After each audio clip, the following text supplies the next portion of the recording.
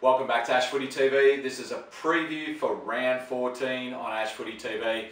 Let's go to game five for this round. It is Western Bulldogs versus Carlton Blues playing at uh, Etihad Stadium on Saturday night.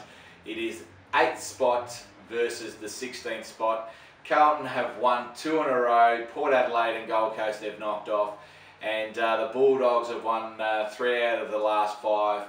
Uh, they're coming um, coming back to, to their best when they uh, they started the season. Uh, the Bulldogs um, very promising uh, with their young stars. Uh, Carlton uh, they seem to get it over the um, Western Bulldogs, but I don't think this time will will happen. Western Bulldogs are very very smart this year. They've got a good coach in uh, Luke Beveridge, which uh, uh, got the best probably game plan in the uh, competition at the moment with their run and carry and exciting football.